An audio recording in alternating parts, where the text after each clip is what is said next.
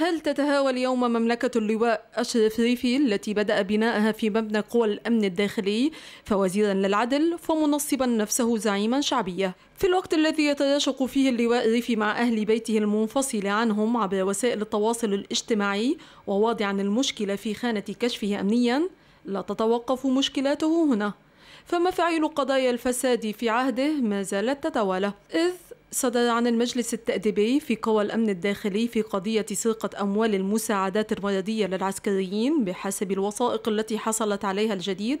قرارات عدة تقضي بوضع الضابط المقدم محمود القيسي بانقطاع نهائي عن الخدمة وطرد ثمانية رتباء من سلك الخدمة نهائيا وكذلك بخفض رتب ثمانية رتباء إلى دركي أما في قضية خفض عدد مرافقيه فقد علمت الجديد أن أساس القصة بدأ منذ اجتماع مجلس الأمن المركزي الاثنين الفائت الذي وافق بالإجماع على خفض عدد مرافقي اللواء ريفي إلى عشرين عنصرة.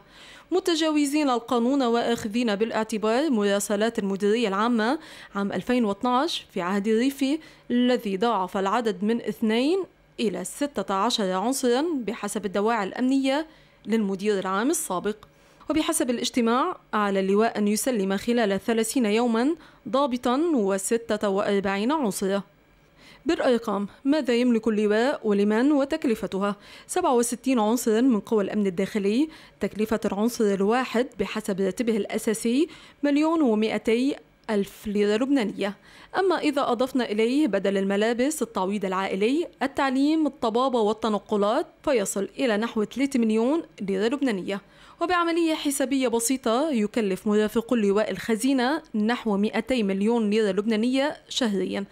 أما موكبة فيتألف من 11 سيارة ثلاث من السيارات تعود ملكيتها إلى بيت الوسط وثمان لقوى الأمن الداخلي.